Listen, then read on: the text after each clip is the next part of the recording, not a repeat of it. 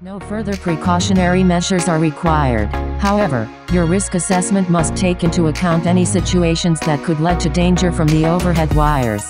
For example, consider whether someone may need to stand on top of a machine or scaffold platform and lift a long item above their head, or if the combined height of a load on a low lorry breaches the safe clearance distance. If this type of situation could exist, you will need to take precautionary measures. If you cannot avoid transitory or short duration, ground level work where there is a risk of contact from, for example, the upward movement of cranes or tipper trailers or people carrying tools and equipment, you should carefully assess the risks and precautionary measures. Find out if the overhead line can be switched off for the duration of the work.